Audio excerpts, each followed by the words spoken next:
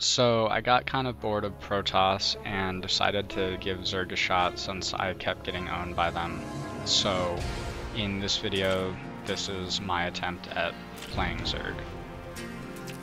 Since it's a random game on the opponent, I can't wait for my slow overlord to get all the way over there, so I sacrifice a drone to go over and just check what race they are and I see the barracks and the supply depot building, so I just run him back before even checking out what he has so he doesn't get trapped.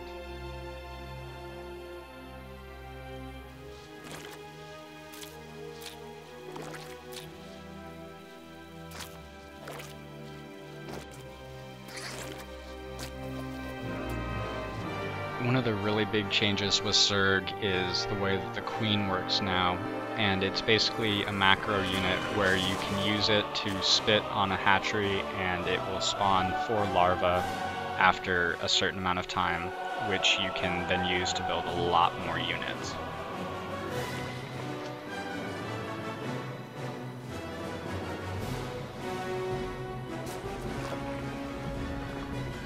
Another nice change is the way the land defense for Zerg works. They're called spine crawlers now. They're basically the same thing as sunken colonies, except more powerful.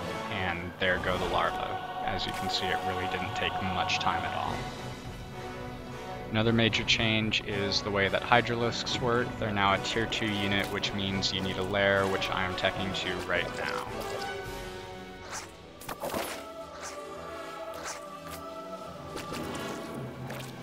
After the upgrade finishes, I build my Hydralisk Den and build some Zerglings to help supplement defense, which come in very handy when the Marines decide to attack me. As you can see, the Spine Crawlers are very, very helpful against weak units like them, especially when they have Zerglings to tank for them and assist them in damage. The other big thing is that creep actually means something now, since your units move very, very fast on it compared to otherwise.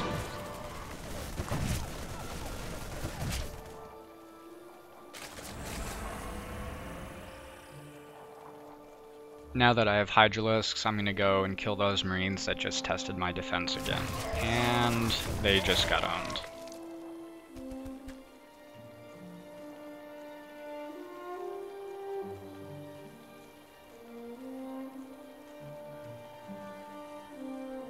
One really nice thing about Zerg is that you seem to always have excess minerals and it's very, very easy to build an early expansion compared to Protoss, for example, where I seem to constantly be starved for resources and can't find a time to expand where I'll have extras.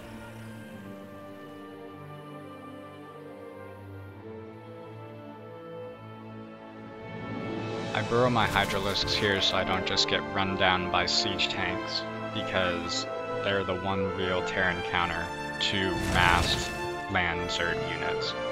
And as it turns out, this choice becomes extremely beneficial because as I'm sending my Zerglings out to capture the towers so I have bigger vision radius, I see him come in with Hellions, which are really, really good against light armored units like the Hydralisk. So I sit here and wait for them to run past me toward my, toward my hatchery, and then pop up and start killing his weak Marines and Marauders from behind, and his Hellions can't catch up in time.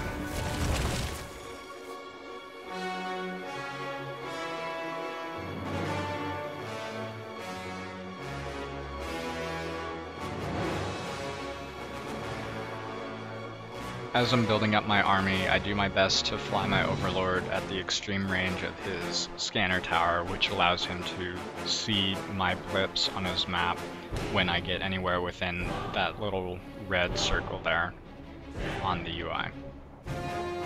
The last really big Zerg change in this video is the way that Nydus networks work. The way that you use them now is you have the master building in your base, and what it can do is it can spawn worms anywhere where you have vision for 100 minerals and 100 gas. So the other way that it unloads units is it treats it like a vehicle with infinite capacity, and you can spawn the worms anywhere, which I do right here, and as soon as it finishes building, then you can unload all of them like any other vehicle. The one problem with them is that if you stick them in a corner like this, they run out of room to unload things, so you have to move them away to keep unloading more.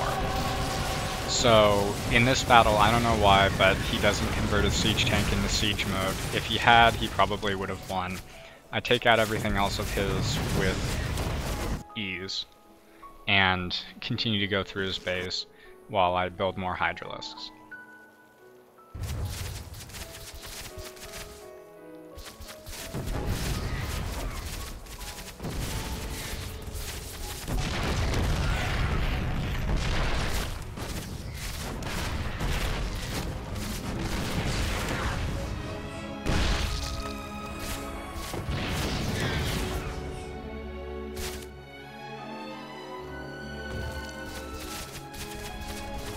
Eventually his siege tanks do stop me from killing more of his buildings, but not before I kill most of everything that can construct anything.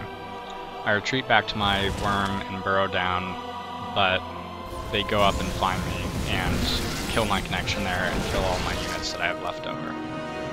After scanning his base, I find out that he's not going to fall for the same trick again, and is watching for overlords. So instead, I decide to just go with a frontal assault and hit a Nydus Worm in the back once he has all of his units distracted in the front.